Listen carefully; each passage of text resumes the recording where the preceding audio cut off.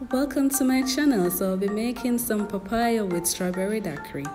I'm going to be adding some cubes of ice to the blender and also some pieces of papaya which I've already removed the seeds and the skin. Next I'm going to be adding just a little bit of strawberry syrup for flavor because I don't have any simple or clear syrup. Next I'm going to be adding just a little bit of water so that the mixture can blend properly. After it has been blended, I'll place it in the glass and leave a little bit of space for the strawberry daiquiri. I've also already have a, a video on how I make strawberry daiquiri.